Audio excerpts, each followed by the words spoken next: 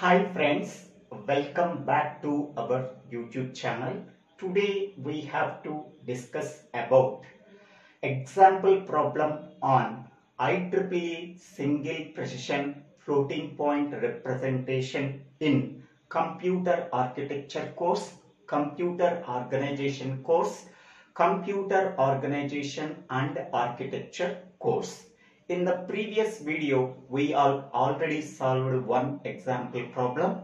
Now, in this video, we have to solve another example problem on the same topic. The given problem is represent plus 28 base 10 in IEEE 754 single precision format using implicit normalization. The given decimal number is plus 28 base 10.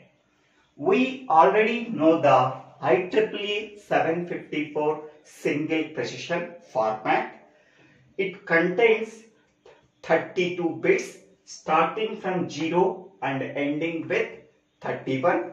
Total 32 bits can be classified into three fields the first field can be called as mantissa. It contains 23 bits starting from 0 and ending with 22. Total 23 bits can be allocated for mantissa. Next, this is biased exponent. It contains uh, 8 bits starting from 23 and ending with 30.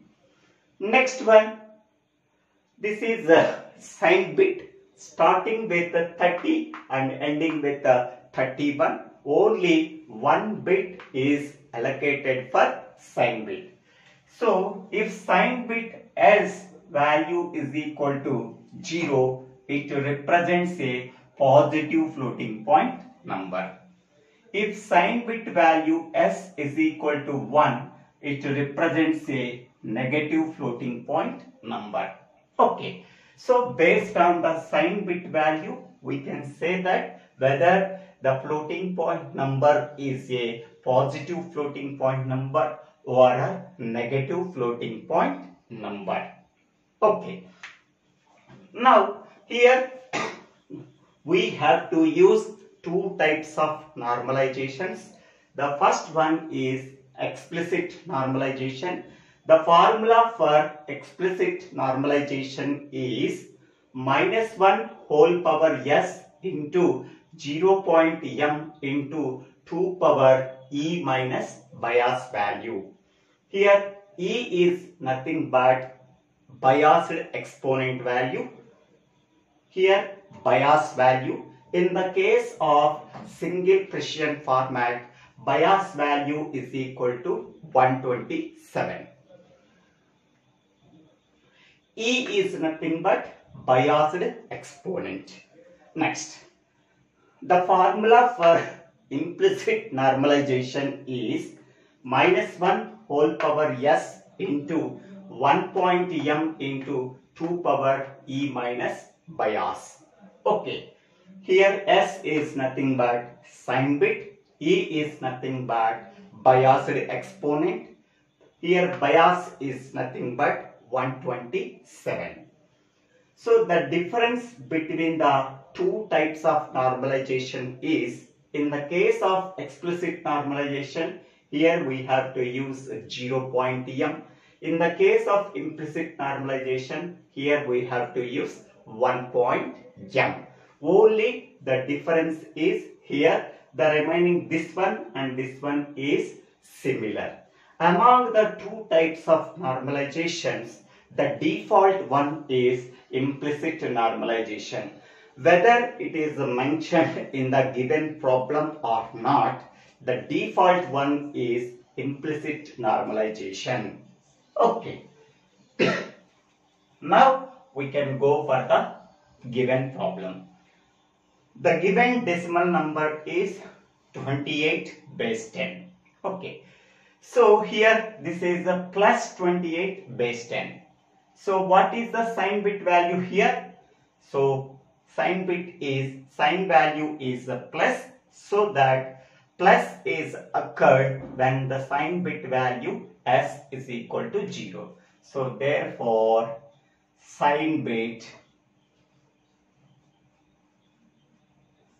is equal to 0 because the given decimal number is a positive decimal number positive decimal number can be occurred when the sign bit value is equal to 0 so that the sign bit value is 0 so therefore s value is equal to 0 now next one we have to convert the given decimal number into binary form by successively dividing the given number until the quotient value is 0. So 28 can be successively divided with 2. 2 14s 28. Here the quotient value is 14 and the remainder value is 0. Again quotient value not equal to 0 Again we have to successively divide it with 2. 2 sevens. Remainder value 0. Quotient value 7. Remainder value 0. So quotient value not equal to 0. So that successively divided with 2. 2 threes 1. Remainder is 1. And quotient value is uh, 3. Quotient not equal to 0. So that successively divided with 2 two ones remainder value 1 so quotient value is not equal to 0 so that you have to successively divide it with the 2 two zeros remainder value is 1 now we are getting the quotient value is 0 so that the remainders can be written in the form of from top to bottom. Sorry from bottom to top. Sorry the reminders can be written from bottom to top. That is 1, 1, 1, 0, 0, base 2. Okay, so 28 base 10 is equal to 1, 1, 1, 0, 0, base 2. Now, in triple one zero zero. This value can be converted into this form. This form. Okay. So here one point m. m is nothing but mantissa. So mantissa is always a fraction value. So here where is the decimal point? The decimal point is here, here, there. Okay you have to move the decimal point one bit at a time towards left. So first time, second time, third time, fourth time. After moving four bits from right to left, we are getting one point one point one one zero zero. So it is similar to 1 point m something. 1 point m. Okay. So that we have to write how many how many places we have to move the decimal point from right to left four decimal four decimal places so that you have to write 2 power 4 times okay so, first time, second time, third time, fourth time. So that you have to write 2 power 4. Okay. Now, it is similar in the form of 1 point m into 2 power e minus bias value. See this one? It is in the form of this formula. 1 point m into 2 power e minus bias value. Okay. Now, so when we are comparing this one with this one, so what is the values we are getting? So m, m is equal to So m is always represents a fraction value. After the decimal point, whatever the value we are getting, that value can be treated as mantissa. After the decimal point, so 1100 is there, so that the mantissa is 0.1100. So mantissa is always a fraction value. After the decimal point, whatever the value is there, that value can be treated as mantissa.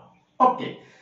So 0.11 after that any zeros are there simply we have to ignore it otherwise you have to keep it. No problem at all. Next one. Here so when we are comparing this one with this one we have to find the m value. Next you have to find the e value. So here this one is compared with this one. So E minus bias value is equal to 4. E minus bias value is equal to 4. Okay, here 4 is nothing but true exponent. Okay, then well, how will you get E value? E value is equal to 4 plus bias. What is the bias value in single precision format? So the bias value for single precision format is bias is equal to 2 power n minus 1 minus 1. Okay. n is nothing but number of bits allocated for exponent. So 8 bits are allocated for exponent so that 2 power 8 minus 1 minus 1 so 2 power 7 minus 1 that is equal to 127. So in the case of single precision format bias value is equal to 127. So we have to substitute the bias value 127 here. So 4 plus 127 that is equal to 131. Now this 131 can be converted into binary form. So how will you getting 131? So here I am writing in terms of 2 powers 2 power 0, 2 power 1, 2 power 2, 2 power 3, 2 power 4, 2 power 5, 2 power 6, 2 power 7. So 131 can be written in terms of 2 powers. Okay. So 131 can be written in terms of 2 powers. So what is the nearest 2 powers for 131? 128. So 128. So what is the remaining value? 3. What is the nearest 2 powers for 3? 2 power 1. Next, what is the remaining value? 1. What is the near? Uh, what is the uh, power value for 1? 2 power 0. 2 power 0. So this is the 2 power 7. This is the 2 power 1. This is the 2 power 0. Okay. So 128 plus 2 plus 1. 131 can be written in terms of 2 powers. 128 can be written in as 2 power 7. 2 can be written as 2 power 1. 1 can be written as 2 power 0. So whatever the 2 powers we are getting at that places we have to write 1. Whatever the 2 powers missing at that place you have to write zeros. So here 2 power 7 is there. So that you have to write 1. Next 2 power 6 is not there 0. 2 power 5 is not there 0. 2 power 4 is not there 0. 2 power 3 is not there 0. 2 power 2 is not there 0. 2 power 1 yes it is there so that its value is 1. 2 power 0 yes it is there its value is 1. This is the binary equivalent of 131. Now we are getting S value, we are getting M value, we are getting E value. Now substitute these values in 32-bit format. Okay. S value how much? This is 0. It contains only 1 bit. Next, exponent value. What is the, here this is biased exponent value. Here bias value is already added so that this is the biased exponent value. It contains 8 bits. So how many number of bits are there? 8 bits are there. So that you have to write here 1 5 zeros. Next 1 1. So this is the S value. This is the E value. This is only 1 bit. This is 8 bit. Next, here what is M value? M value how much? So we, we are taking only after the decimal point. So after the decimal point, what is there? 1100. So here you have to write 1100. Only we have to consider whatever the digits are there after the decimal point that digits can be considered as mantissa. So 1100. But how many bits are allocated for mantissa? 23 bits. How many bits you have to write here? 4 bits. Remaining 90 bits can be put as zeros. 1, 2, 3, 4, 5, 6, 7, 8, 9, 10, 11, 12, 13, 14, 15, 16, 17, 18, 19. So here 19, 19 zeros plus these two zeros, 21, two ones, 23. So 23 bits allocated for mantissa, 8 bits are allocated for biased exponent and 1 bit is allocated for sign bit. So this is the IEEE 754 single precision format for plus 28 base 10. This is the answer. This is the answer. In this way, we have to solve the given problem. Whenever we are giving represent plus 28 base 10, the answer is this one, 32-bit format. Okay, I hope all of you understanding this video. If you really understanding this video, please click on the like button and share this video to your friends and classmates. If you really like this video, please subscribe my YouTube channel, Divvela Srinivasarao. After subscribing my YouTube channel, click on the bell icon to get the future updates in my YouTube channel. If you have any doubts in this problem, put your comments in the comment box. I will try to clarify your doubts. Thank you. Thank you one and all for watching this video. Here the zeros are added at LSB site. Okay. Thank you.